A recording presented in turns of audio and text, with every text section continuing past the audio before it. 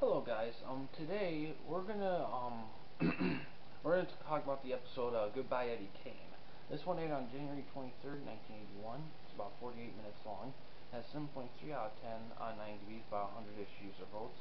It guest stars, uh, Cameron Mitchell, who was in, um, The High Chaparral, and directed by Jack Colvin, you know, the guy who plays Jack the McGee. This is, this is, I believe this is the first episode he directed the series.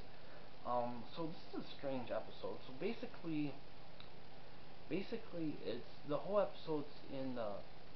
It's narrated by some detective guy that we never met before, and he doesn't show up again in the series. It's kind of a weirdly experimental episode. I do find it interesting seeing like David's actions through a different person's perspective.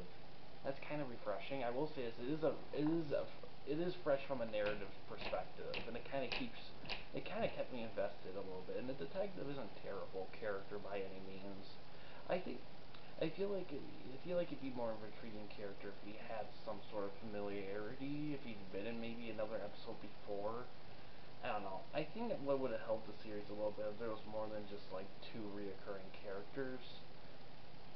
I know the gist of is him traveling around, but it really makes it hard to like to have some great character development when each character only gets an episode to have it in. It kind of limits things sometimes. Um, um, but yeah, the Hulk actually remember being okay. I think.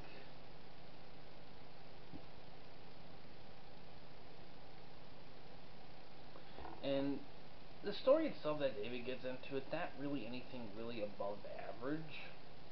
The thing that makes it fresh, the gist of the episode is just everything within the narration perspective, another person's perspective. So it's a neat experiment, but I don't, I don't know. I kind of felt like I would prefer it if it was like from a different, per- like I said, a, a person that's been around. I mean, I mean, we've done Jack McGee centered episodes before, but why, why not one where he's actually writing the story of what happened?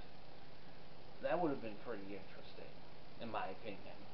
But but this is fine the way it is. I think it's worth one watch, but I don't know. I don't know how often. I, a lot of people have reviewed this one over other like average episodes, so obviously a lot of people were kind of like, "What the fuck's this?"